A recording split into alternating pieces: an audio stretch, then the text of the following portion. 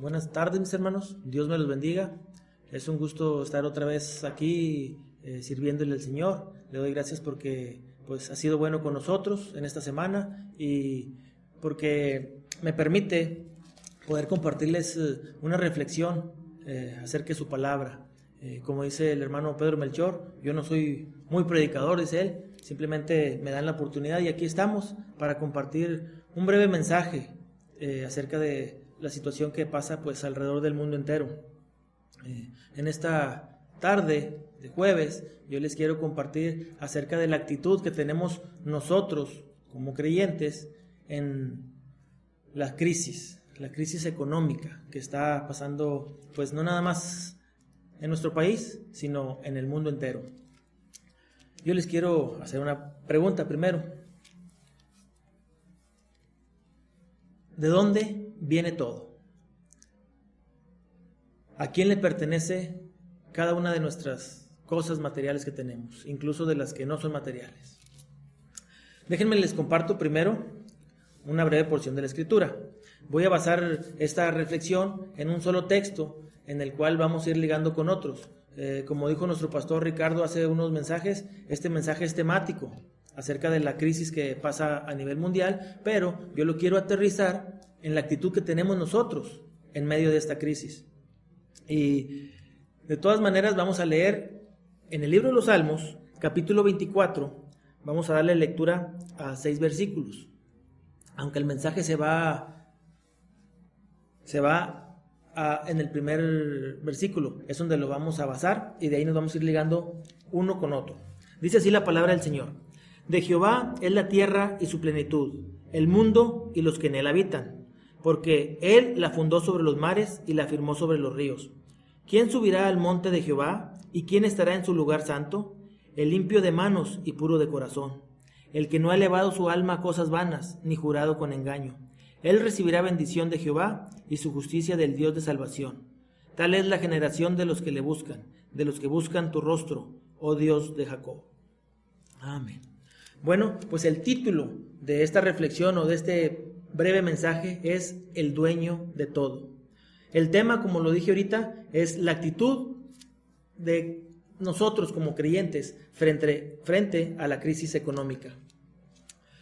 Realmente no me quise extender mucho en una introducción, prácticamente hablar de la situación financiera mundial, investigué en periódicos, en noticias, y todos opinan prácticamente lo mismo, ¿verdad? La crisis está latente, está presente. No soy la mejor persona para hablar de economía, sé que hay algunos de ustedes que podrán desempeñar mejor, eh, hablar acerca de la crisis que está pasando en estos momentos. Pero yo no quiero extenderlo, como les dije ahorita, y sin más preámbulo, yo quiero ir directo al grano. La actitud de cada uno de nosotros cuando se, se encuentra en una situación así, en crisis. Pero hago esta pregunta, una pregunta transitiva. ¿De dónde viene la provisión? Bueno, según el texto que leímos ahorita, el Salmo 24, versículo 1 dice, de Jehová es la tierra y su plenitud, el mundo y los que en él habitan. Dios, mis hermanos, es dueño absoluto de todo y de todos. Otra porción de la escritura nos menciona, mía es la plata y mío es el oro, dice Jehová. Así que toda riqueza pertenece a Dios. Y si usted es de los que piensan que hay cosas de mayor valor que estas, pues tiene razón. Por ejemplo, la familia. La familia tiene un valor agregado, mis hermanos. En estos momentos, el empleo. Lo último que escuché a raíz del coronavirus, hace alrededor de cuatro meses, es que se han perdido más de 59 mil empleos. Pero los talentos y todas nuestras bendiciones presentes y aún las que deseamos alcanzar son de Él también. Dios no depende de lo que poseemos, todo lo contrario, nosotros sin Él no somos nada. Quiero basar esta pequeña reflexión en una analogía como de un padre a un hijo. Por ejemplo, pedirle a Dios. Nosotros como hijos en su momento le pedíamos a nuestros padres. Ahora yo como padre veo que mis niñas me piden, entonces pues yo atiendo a, a lo que ellas este, están solicitando. Bueno, el pan nuestro de cada día, dice Mateo 6:11. Si mal no recuerdo, si, no, si mal no recuerdo, esta es una figura de lenguaje, el cual se refiere que el pan nuestro de cada día es el sustento diario que el Señor tiene para con nosotros, referente a la comida. Pero Él definitivamente no nos ha abandonado, creo yo, a ninguno de nosotros en ese aspecto. Así que ser sus hijos nos permite ir ante el Padre Celestial y pedirle con confianza, según su voluntad. Como padres nosotros suplimos para nuestros hijos, de la misma manera nuestro Padre Celestial para con nosotros. Él es proveedor y sustentador de todas nuestras necesidades. Es propio esperar de Él nuestro sustento. Como les decía hace un momento, mis niñas esperan que sea yo el que les traiga X o Y cosa que piden. Normalmente piden frituras, cosas de niñas, ¿verdad? Incluso piden juguetes, pero no siempre se les cumple ese caprichito. Pero así son ellas, ¿verdad? De la misma manera nosotros, mis hermanos, eh, a quien tenemos que acudir es a nuestro Padre Celestial. Y pues no siempre también nos va a responder eh, afirmativo, ¿verdad? No siempre va a dar un sí por respuesta. Entonces nosotros debemos de ser congruentes en ese aspecto. Nosotros, como hijos de Dios, debemos de ir creciendo espiritualmente en esa manera también. Mis niñas, por dar un ejemplo, ellas van creciendo físicamente y van aprendiendo una y otra cosa cada vez eh, conforme pasa el tiempo. Nosotros, como creyentes, debemos ir aprendiendo como cuando éramos niños y ir aprendiendo en lo espiritual, en esa vida cristiana que llevamos. Dios quiere que le pidamos, pero desear y pedir no son sinónimos y no debemos de pedirle conforme a nuestros caprichos, sino tomando en cuenta nuestras necesidades reales y el plan de vida para nosotros. Él más que nadie conoce lo que nos conviene, como dice Mateo 6.8. Cuando somos pequeños, pues pedimos sin saber. Ya de adultos, pues vamos aprendiendo un poquito más y vamos pidiendo un poquito mejor a nuestros padres, conforme también nos conviene. Así que Dios definitivamente es generoso y misericordioso. Eh, hace unas semanas el pastor Ricardo trajo un mensaje, ¿verdad?, basado en los atributos morales de Dios. Y uno de ellos, ¿sí?, mencionaba la misericordia. Entonces, prácticamente de aquí vamos a ir desglosando eh, el siguiente eh, tiempo para ir desglosando el mensaje, como se los acabo de decir. Dice Lucas 6:36, 6:36. Sed pues misericordiosos, como también nuestro Padre es misericordioso, ya que es un atributo moral de Él y del cual nos da ejemplo para seguir sus pasos para con otros. El Salmo 103, por lo menos en cuatro eh, versículos diferentes, nos menciona la misericordia de Dios. Entonces, yo estoy seguro que ustedes recuerdan los artículos de fe en los cuales este, estuvimos estudiando y estudiando eh, hace aproximadamente un año. Uno de ellos, por ejemplo, en la caída del hombre, donde nos menciona este, que Dios nos hace a imagen y semejanza. Así Dios nos creó. Es decir, con la capacidad moral para decidir entre lo bueno y lo malo. Intelectualmente nos hizo diferentes a los otros seres criados. Nosotros tenemos la capacidad de amar, perdonar, de tener paciencia, de ser bondadosos y misericordiosos. Ahorita en nuestro alrededor hay crisis, definitivamente. Yo creo que cada uno de nosotros, y me refiero a la crisis económica, en particular. Eh, gracias a Dios, Él no nos abandona, no nos ha dejado y Él ha suplido de todas maneras.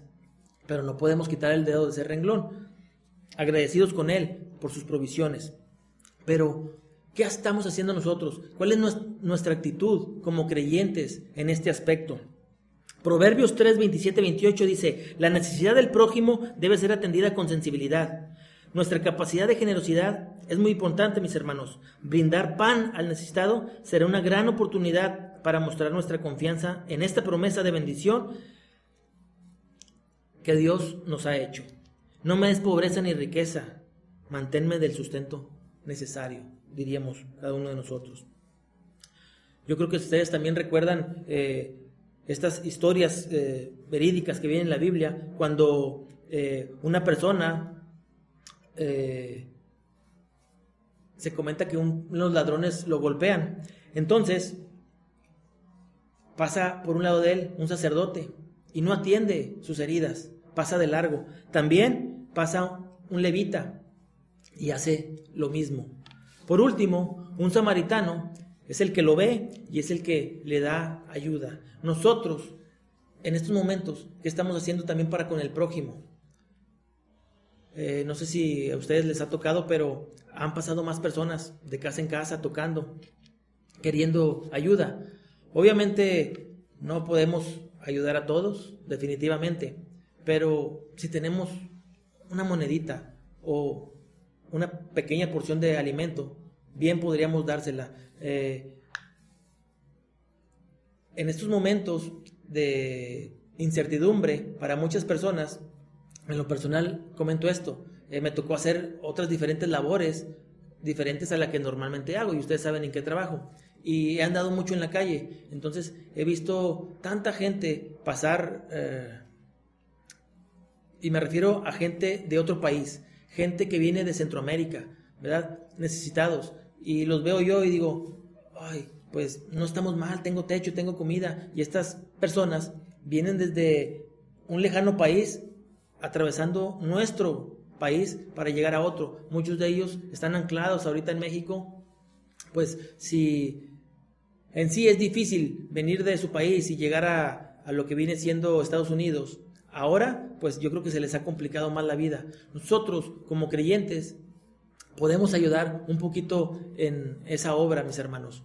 Y no nada más me refiero a la gente que viene indocumentada, hay mucha gente de nuestro país que está necesitada. Quiero hacer una breve pausa aquí porque eh, no me quiero adelantar en, en el texto, en el sermón. Y definitivamente la ayuda que nosotros como creyentes debemos proporcionar primeramente, pues es a nuestros hermanos en Cristo. Pero no podemos eh, cerrar los ojos y desamparar a aquellos, dejar desamparados a aquellas personas que también están necesitadas. Dice eh, Proverbios 3, 27 y 28 acerca de la necesidad del prójimo. No te niegues a hacer el bien a quien es debido cuando tuvieres poder para hacerlo. No digas a tu prójimo, anda y vuelve y mañana te daré cuando tienes contigo que darle. Bueno, el mejor ejemplo de misericordia es nuestro Dios, definitivamente. Ahora yo pregunto, ¿sí seguimos sus pasos? Precisamente hoy me tocó ver una situación donde una persona que a mi parecer no creyente le dio la mano a un hermano en Cristo. Yo me dirigí a aquel lugar, pero para cuando llegué, ya otra persona ya le estaba echando la mano, ya le había ayudado. ¿Por qué digo esto? Mm, eh, yo prácticamente iba a hablar acerca de un ejemplo similar, pero propio, y ahora vi esto. Entonces, como yo les decía hace un instante, yo he andado mucho en la calle por el, trabajo y he visto personas varadas en avenidas, en calles, y he querido ayudar. Y sinceramente he traído una carga de trabajo, gracias a Dios, este, que no había tenido los últimos días, y no me puedo parar, continúo. Siento que he traído pues, el tiempo encima, entonces sigo y sigo, porque me ha tocado varias veces esta situación y no había podido hacer nada. De hecho, le pregunté a mi esposa, oye, ¿recuerdas cuándo fue la última vez que pasó esta situación? Acerca de un muchacho que se le había ponchado la llanta. Y me dijo, bueno, hace como cuatro o cinco meses, cuando esto apenas comenzaba. Ah, ok. Entonces tengo como cuatro o cinco meses que no le ayudaba a una persona. Y eso lo hice porque ahí estaba. Estaba esperando Meraria, mis niñas, ya saben que solamente puede entrar una persona a, las tiendas eh, para comprar alimento. Entonces yo me quedé con mis dos pequeñas y mientras Merari estaba haciendo las compras, eh, yo vi esta situación y dije, pues ¿qué más da irlo a ayudar? Y fui a ayudarlo. El pobre muchacho no podía cambiar la llanta del carro. Entonces, eh, cuatro o cinco meses para cuando lo logré. Cuando uno anda en la calle, estas situaciones las ve a diario y a diario. Entonces, yo prácticamente me sentía mal cuando no ayudaba a estas personas. Bueno, hoy ¿verdad? A raíz de la crisis, muchas personas han quedado sin empleo y esto ha ocasionado que hagan diferentes eh, labores también o van de casa en casa pidiendo o están en las esquinas. Eh, como dije hace un instante, no podemos ayudarlos a todos, ¿verdad? Porque en cada esquina hay un grupo de personas queriendo ayuda. Entonces, simplemente lo menciono para que si está en nuestras manos, hagámoslo. Pero, recuerden esto, primeramente es ayudar a nuestro hermano en Cristo. Si uno de ustedes sabe que uno de nuestros hermanos está necesitado, una llamada, ¿verdad? Para poder decirle, hermano, no dudes en pedir ayuda, te la ofrezco, definitivamente. Y en estos momentos me estoy ofreciendo para que si alguien necesita apoyo del que usted me diga, adelante, ¿verdad? Pídalo, mi hermano. Ahora, dice ser obedientes. ¿Qué tan obedientes somos? ¿Verdad? en todos los aspectos, vamos a decirlo. Primero, Proverbios 28, 27 dice, el que da al pobre no tendrá pobreza, mas el que aparta sus ojos tendrá muchas maldiciones. Nuestra indiferencia hacia los necesitados trae maldición. Es decir, puede que un día estés en las mismas circunstancias. Hoy, como les dije, eh, vi la necesidad de este hermano, otra persona que a mi parecer no era creyente, ya le estaba echando la mano. ¿Qué estamos haciendo nosotros? ¿Qué actitud tomamos para con esas personas? Porque sinceramente les digo esto, cuando yo pasaba por ahí y veía al necesitado, prácticamente decía, pues no puedo, no tengo el tiempo, ¿verdad? Quería ignorarlo, pero después hay un remordimiento. Ay, que eran tantos cinco minutos. Yo normalmente he andado mucho tiempo en todos los municipios de, de lo que es Nuevo León. Entonces, no quiero decirles cuántas veces se me ha ponchado una llanta. Precisamente de eso iba platicando con el pastor Ricardo y él me decía que una vez hasta puso un cronómetro para ver en cuánto tiempo lo hacía. No recuerdo si me dijo unos dos, tres minutos. Entonces, cuando uno anda en la carretera, en el solazo, y cuando los vehículos andan pasando rápido, uno se baja y quiere hacerlo lo más rápido posible. Entonces, dos, tres minutos de experiencia que tenemos en cambiar un neumático, pero cerramos los ojos cuando vemos esa necesidad, cuando sabemos que podemos hacerlo. Ok. El que cierra su oído al clamor del pobre, también él clamará y no será oído. No ignoremos la súplica del necesitado, mis hermanos. Si no tenemos compasión por ellos, tampoco esperemos compasión cuando estemos en necesidad. Como dicen algunos, todo se nos regresa. Bueno, damos gracias a Dios que Él siempre nos ha apoyado, nos ha ayudado y de alguna manera ha suplido las necesidades que hemos ocupado. Dice, dad y se os dará medida buena, apretada, remecida y rebosando, darán en vuestro regazo, porque con la misma medida con que medís, os volverán a medir. Seamos generosos. Si queremos que nuestra bendición sea abundante, pues debemos dar abundante. Y no me refiero nada más a lo económico, sino el apoyo, ¿sí? El apoyo puede ser moral, puede ser de un traslado, pero de que debemos de estar pendientes en ese aspecto, debemos de estarlo. Proverbios 11:25 dice, el alma generosa será prosperada, y el que saciare, él también será saciado. Entonces, ser generosos y atentos a las necesidades ajenas trae satisfacción para el alma, definitivamente. Cuando hacemos todo lo contrario, hasta pesar nos da. Dice Mateo 25, a partir del versículo 34 hasta el 40, no lo voy a leer, pero ustedes lo recuerdan cuando dice, ¿cuándo te dimos? Le dice eh, al Señor, ¿verdad? ¿Cuándo te dimos? Cuando estaba necesitado y te dimos de beber. Entonces el Señor dice, cuando lo hicieron a estos, a uno de mis hermanos, a mí me lo hicieron. Entonces, más bienaventurado es dar que recibir, dice Hechos 20, 35. Siempre será mejor dar que recibir, hermanos. Déjenme les explico aquí. No puedo dar lo que no tengo. Entonces, qué feliz se puede sentir, qué orgulloso, qué satisfacción, por decir algunas palabras, cuando estamos ayudando. Eso genera satisfacción para el alma. Lo vuelvo a decir, si usted ve la necesidad a uno de nuestros hermanos que esté batallando, arrímese, porque también quiero comentar esto. A veces somos orgullosos y no queremos decirlo. Podemos estar pasando circunstancias difíciles y yo sé que algunos de nosotros las puede estar pasando, pero no queremos doblar nuestro, nuestro brazo.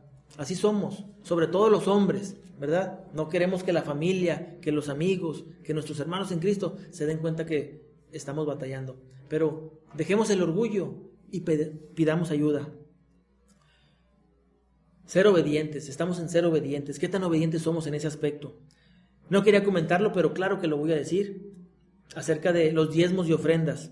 El diezmo de todo lo que Dios nos permite tener debe ofrecerse a Él. De antemano, yo asumo, mis hermanos, que todos creemos bíblicamente en el diezmo, ¿verdad? No creo que alguno de nosotros dude respecto a esto. De hecho, en Malaquías 8, perdón, Malaquías 3, versículo 2, del 8 al 11, hay una clara amonestación a los que habéis tomado lo que no les corresponde. Y hay una promesa de bendición para quienes lo cumplen. Quiero darles un ejemplo respecto de esto. Yo recuerdo que cuando era pequeño, no sé, cinco años, por decir alguna edad, eh, a mi madre se le cayeron, creo que eran 5, 50, 500 pesos. Era una moneda así color plateada abajo de un ropero. Yo me acuerdo que vi la moneda, la encontré, pero yo le dije a ella, no hay moneda. No hay moneda. Se fue para otro lado.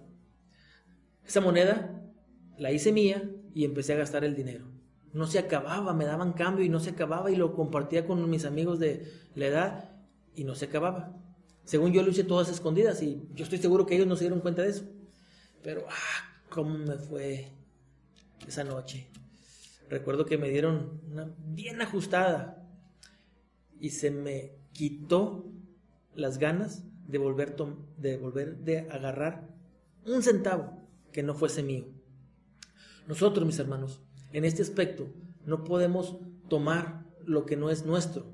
Si el Señor nos ha bendecido con trabajo, aún si el trabajo vino para abajo y hubo un ingreso mucho menor, el 10% sigue siendo de Él. No nos lo podemos quedar. Eso le pertenece a Él.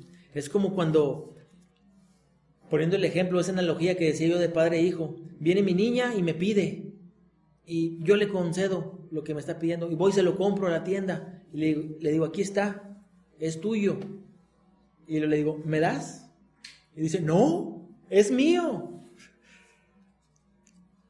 Se lo acabo de, de entregar en sus manos y en automático dejó de ser mío para ella. Hay veces que nosotros como creyentes somos igual. Nuestro Señor nos da. Solamente tenemos que regresarle una pequeña parte. Pero parece que decimos como mi niña, no, es mío. Bueno, estamos equivocados totalmente en eso. El 10% es del Señor. Y como dije hace unos minutos, creo que todos creemos bíblicamente que esto, el diezmo, es de Él. Así que honremos a Dios, mis hermanos. Nosotros, cuando enseñamos a, nuestros hijos, queremos que ellos vayan aprendiendo, ¿verdad? Y que se vayan comportando de la mejor manera para que en su crecimiento físico ellos vayan siendo buenas personas. Así nosotros debemos de serlo para con nuestro Dios. En nuestro andar diario debemos de ir creciendo espiritualmente, día a día, día a día ir creciendo para ser mejores creyentes, mejores cristianos, mejores hijos de Dios. Nadie quiere que nuestros hijos anden de boca en boca. Ah, está aquí, está allá, está bajo las rejas. Bueno, no queremos eso. Así nuestro Dios no quiere que nosotros como hijos de Él, espiritualmente hablando, andemos de boca en boca en personas que no le conocen. ¿Qué pagaré a Jehová por todos sus beneficios para conmigo? Bueno, hay muchas formas de mostrar a Dios nuestra gratitud por sus bendiciones. Ser obedientes y generosos son algunas de ellas, pero no hay forma alguna de pagar su amor y favor para con nosotros. Permítame contarles esta historia. Para que el niño se convierta en un gran profesional, sus padres gastaron una buena fortuna en su educación y se habían quedado con poco dinero. Solo vivían con lo que su negocio les daba. Tiempo después empezaron los problemas económicos para aquel matrimonio. La señora se enfermó de gravedad y requería mucho dinero para su atención médica. El señor estaba desesperado porque no podía reunir esa importante suma ni aún con préstamos. Estaban a punto de vender su negocio e hipotecar todas sus tierras, cuando de pronto se acordaron de su hijo. Llamaron al muchacho por teléfono y él acudió de inmediato. No se preocupen, padres míos, les daré un préstamo. No importa la cantidad. Cuando mi mamá sane, haremos cuentas. El joven no escatimó su dinero y les hizo un préstamo con una cantidad exorbitante de dinero. La señora fue al mejor hospital y sanó. El matrimonio, muy contento, abrazó a su hijo, dándole las gracias, pero no fueron los únicos problemas. El matrimonio siguió enfrentando adversidades, pero siempre contaban con el apoyo de su hijo. Los señores, según pasaba el tiempo, se fueron endeudando más con su hijo, hasta llegar a una cantidad muy difícil de pagar, situación que los preocupaba. Ya no querían pedir más dinero a su hijo, pero las circunstancias los obligaban. Tiempo después, el hijo se casó y su esposa le pedía que ya no presentara más dinero, que ya no prestara, perdón, más dinero a sus padres y que les cobrara el que le debían. El joven accedió y acordó ir con su esposa un determinado día a hablar con sus padres para hacer cuentas sobre su deuda. Les avisó a sus padres la fecha para ir a visitarlos. Esto preocupó más a los señores. Llegó el día de la visita. El muchacho y su esposa llevaron a sus padres al despacho para hablar largo y tendido. Papá, mamá, antes que nada, buenos días. Tomen asiento, por favor. Una calculadora, lápiz y papel. Vamos a hacer cuentas. La señora o los señores estaban muy tensos y pálidos ante tal crítico momento. El muchacho empezó a hacer cuentas. Gastos médicos que ustedes hicieron hace varios años cuando yo nací gastos de pañales, leche, ropa, sonaja, etc., hechos por ustedes. Gastos de ropa, manutención y educación, estudios que pagaron desde que estaba en el jardín de niños, primaria, bachillerato y universidad. Gastos médicos cuando me enfermaba, juguetes, dulces, galletas y demás gastos que hacían para sofocar mis berrinches cuando niño. Dinero para mis recreos, mis domingos, ropa, zapatos y dinero que me daban para ir al cine. El muchacho siguió desglosando una lista interminable de beneficios recibidos por sus padres. Esto molestó demasiado a su esposa, quien intervino con un tono de voz elevado. ¿No se supone que veníamos a cobrar el dinero que te deben? ¿Te has vuelto loco? El muchacho siguió hablando con sus padres con voz más firme y decisiva. Después de hacer cuentas, papás, Pueden quedarse tranquilos. La deuda queda saldada. No me deben ni un solo centavo. Todo lo contrario, yo les quedo debiendo. Gracias a ustedes soy lo que soy y esa es una deuda impagable que tengo con ustedes. El joven abrazó a sus padres y se, se despidió de ellos notificándoles que siempre contaran con él, mientras este, mientras esté en sus posibilidades. Los señores invirtieron en su hijo y ahora estaban cosechando los frutos. Se convirtió en su ayuda permanente y seguro de vida. La esposa del muchacho estaba muy enojada, tanto que amenazaba a su marido de ir ella personalmente a cobrar su deuda. Comprende, amor, a los papás no les podemos cobrar ninguna deuda, porque a fin de cuentas nosotros les debemos más a ellos.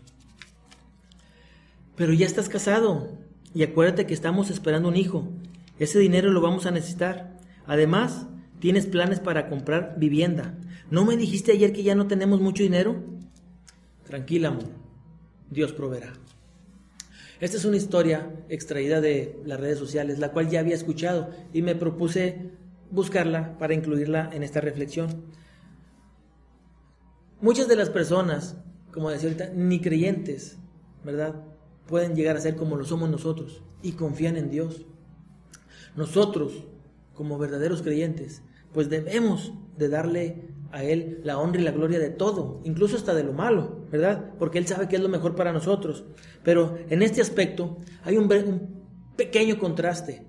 ¿Sí? Ustedes han de haber escuchado la historia, más al ratito de seguro van a ir buscarla y identificarla correctamente, asociarla con el, con el mensaje. ¿Cuál es el contraste? Bueno, definitivamente Dios es el dueño de todo. Él no puede estar en deuda, ¿verdad? Pero somos nosotros los que estamos en deuda. Nosotros, ¿cómo le vamos a pagar el amor, que tiene para conmigo. ¿Cómo puedo ofrecerle algo el cual pague la deuda que Él hizo por mí?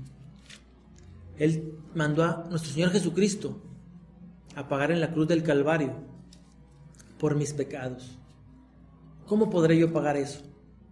Definitivamente, yo creo que no tengo cómo hacerlo. Le saldría debiendo siempre que lo intentare, como le digo a algunos. Al principio de, este tema o de esta reflexión, yo hice una pregunta, ¿de dónde viene la provisión? Ustedes conocen lo que dice en Mateo 6, 31 al 33. Y, y es ahí, mis hermanos, donde debemos de apoyarnos. En el momento de incertidumbre por las cosas que nos faltan, que nuestra búsqueda a Dios sea la prioridad y Él se ocupará de suplir nuestras necesidades. Joven fui y he envejecido, y no he visto justo desamparado, ni su descendencia que mendigue pan. Dios nos cuida y nunca nos deja, y en el futuro también estará vigente para nuestros hijos. Aprendamos, hermanos, a confiar más en Dios y no en las circunstancias. Como dice el Salmo 23, Jehová es mi pastor, nada me faltará. Dios ha dicho que, Dios, perdón mis hermanos, no ha dicho que sea mala la, la prosperidad material. Más bien expresa su anhelo de que seamos prosperados en todo. Sin embargo, hace mayor énfasis en la prosperidad del alma que en las cosas materiales. Y es ahí donde nosotros debemos ser precavidos y prudentes. Porque es fácil distraerse administrando nuestros bienes y trabajos. Excesivamente trabajamos por suplir las necesidades, pero con el fin de tener más, olvidándonos de Dios, quien nos da todo lo que tenemos. Estemos alerta y tengamos precaución y seamos prudentes para no caer en esta falta y evitar sus consecuencias. Primera Timoteo capítulo 6 versículos 9 y 10 dice, porque los que quieren enriquecerse caen en tentación y lazo y en muchas codicias necias y dañosas que hunden a los hombres en destrucción y perdición, porque raíz de todos los males es el amor al dinero el cual codiciando algunos se extraviaron de la fe y fueron traspasados de muchos dolores. El amor por lo material nos hace querer más y más hasta el punto de olvidarnos de lo más valioso, nuestro Señor, nuestro Dios. El dinero sé que es muy necesario, pero hay cosas mucho más valiosas, como dijimos al principio, que las cosas materiales, y que éstas no nos hagan olvidar nuestros valores y principios. Y estoy hablando como creyentes, como cristianos. Seamos agradecidos en todo tiempo, mis hermanos. La honestidad, la moral y nuestro, nuestro testimonio valen más que nuestro estado económico.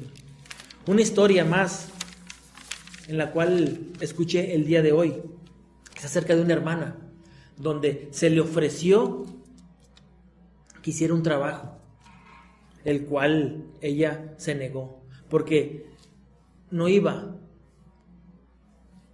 con una persona que es creyente. Ella lo podría hacer porque su trabajo, su profesión lo amerita, pero ella se negó a hacer ese trabajo, pensando como hija de Dios. Pensó como una persona creyente, en su moral eh, y su espiritualidad. Ella dijo, yo no hago esas cosas.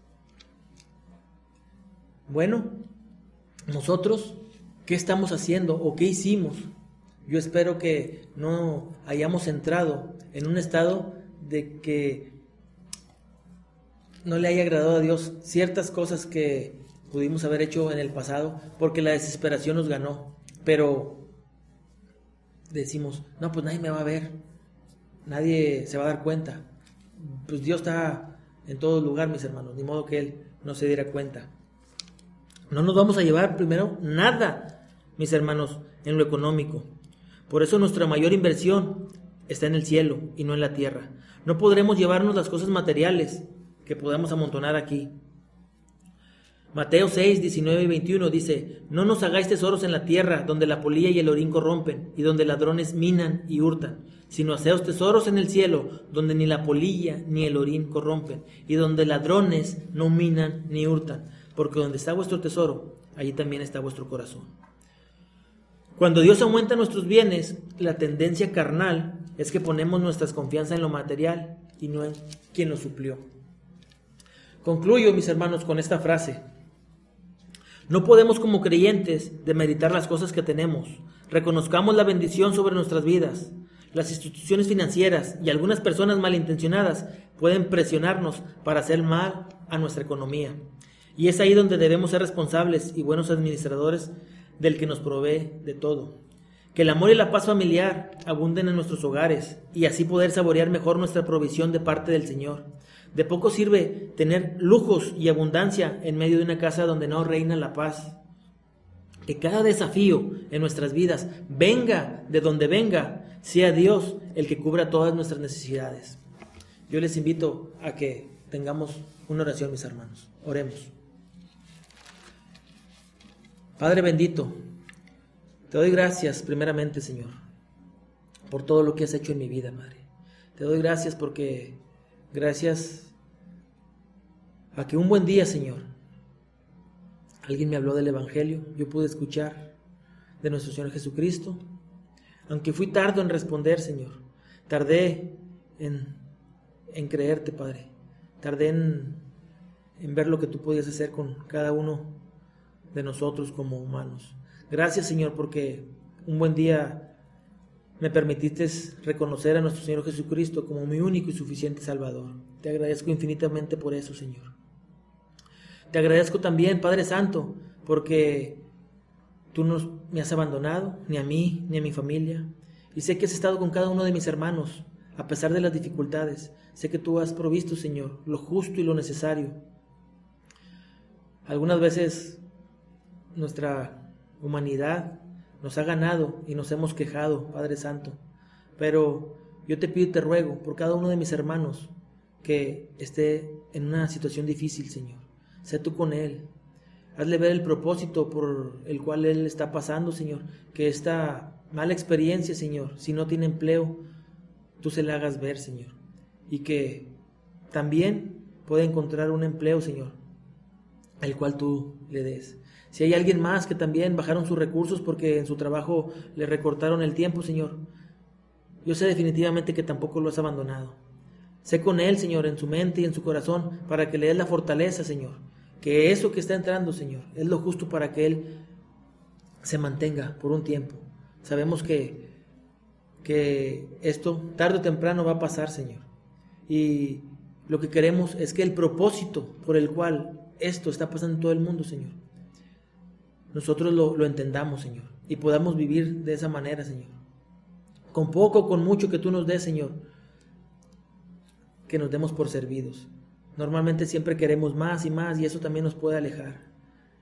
Nos, nos gustan las cosas buenas, no lo negamos, Señor, pero que eso no nos distraiga. Nos acostumbramos a un estilo de vida, Señor.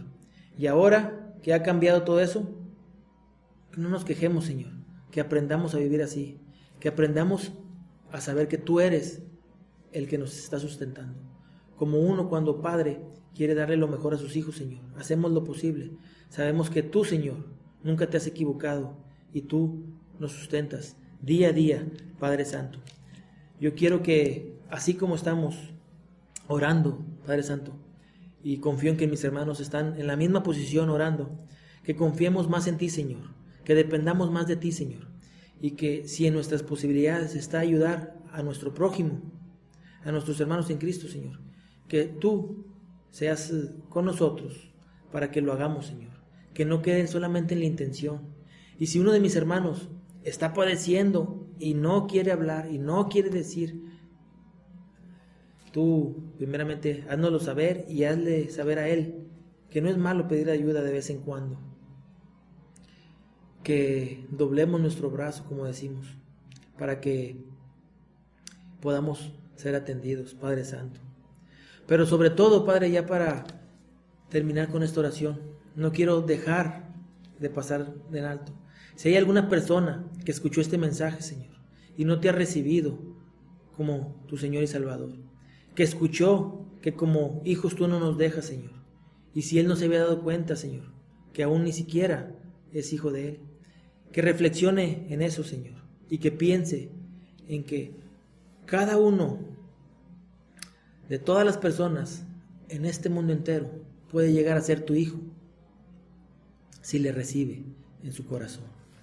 Primeramente, habiendo reconocido nuestras faltas, me refiero a los pecados, que la persona, Señor, yo confío primeramente que todos seamos creyentes, cada uno de los que está escuchando esta reflexión, pero si hay alguno que lo esté escuchando.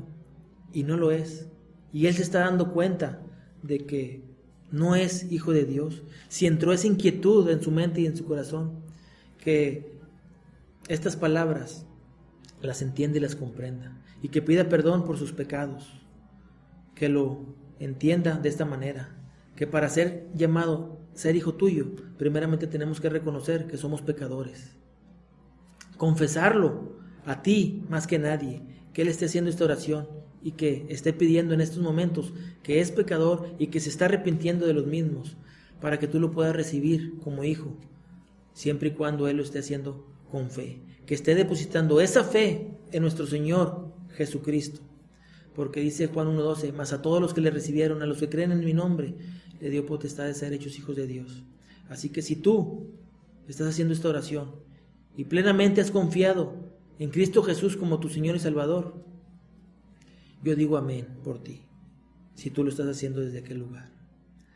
Padre Santo, yo no puedo ver a través de, de este medio digital, pero sé que tú sabes lo que está pasando a través de esa pantalla, Señor.